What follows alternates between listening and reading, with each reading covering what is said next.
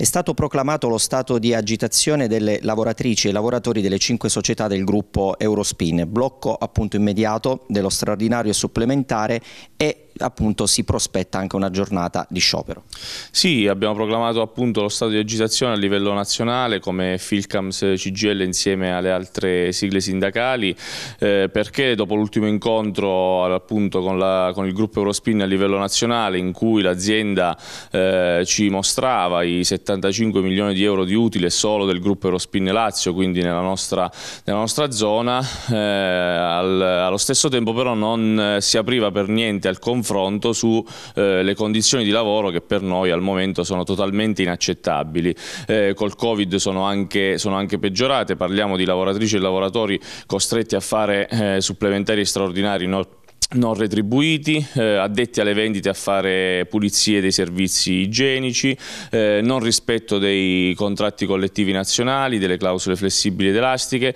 e eh, nell'ultimo periodo anche atteggiamenti vessatori nei confronti degli iscritti al sindacato e eh, addirittura soprattutto nei confronti dei rappresentanti sindacali. Per tutto questo eh, e soprattutto per il fatto che l'azienda non è in alcun modo aperta a, a, al dialogo e al confronto su queste, eh, su queste problematiche, abbiamo proclamato appunto lo stato di agitazione che già eh, ha avuto una grande risposta a livello territoriale eh, qui, eh, qui, in Abruzzo, quindi eh, già eh, un primo passo è stato fatto.